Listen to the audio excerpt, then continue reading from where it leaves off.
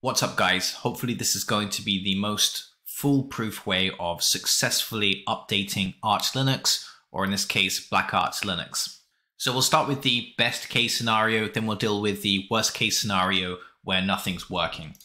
First thing we're going to do is fire up a terminal, and if you're really fortunate, the command will just work, which is sudo pacman-syu. So let's run that, put in our password, We'll just agree to everything.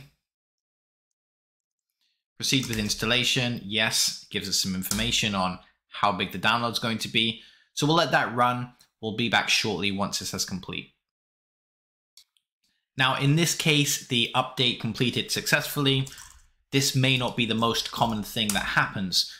So if you are getting a ton of error messages about packages that have unknown trust or other issues which are clearly to do with the signing of packages and the Arch Linux keyring, the most useful command for solving everything that I found so far is sudo pacman-sy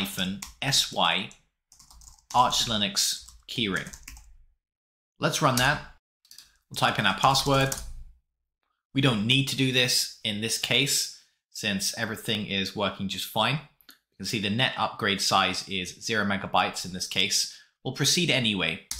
At the time of creating this video, if you install an instance of Black Arch Slim from the ISO, the update won't work on its own with pacman-syu, but if you first run this command, sudo pacman-sy arch linux keyring, that's all you need to do in order for the update process to complete. So we run pacman-sy arch linux keyring. Then after that, we can run the sudo pacman-syu. That will take you from a fresh install of Black Arch Linux Slim to a completely updated version of Black Arch Linux Slim. Now let's just say in an extreme example, things are still not working and you're running into issues with the signing of packages.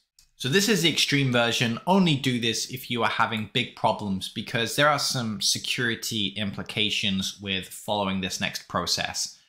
So package signing is there to help protect us, the user. But if it gets to the stage where security is not really that important and updating your system is giving you a huge headache, this can be a fallback last resort option. We head to etc and we'll see in the etc folder, there's a pacman.conf. In fact, let's see if we can just vim into that. This is the configuration for the Pacman package manager. Now, if we scroll down, we'll see a SigLevel section to the document, and we have the values here for that SigLevel parameter.